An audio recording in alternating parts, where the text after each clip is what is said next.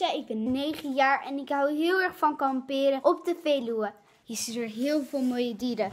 Zwijnen, reeën, konijnen, konijnen, konijnen. Een beetje hetzelfde. En ik heb wel eens een keer een zwijnkies gevonden. Super cool. Misschien gaan al die dieren wel weg. En er is al zo weinig natuur. En we hebben al een vliegveld.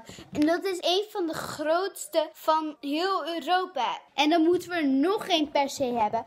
Dan dat hoeft toch niet? Dat past gewoon niet. Mevrouw Cora van Nieuwenhuizen. Dus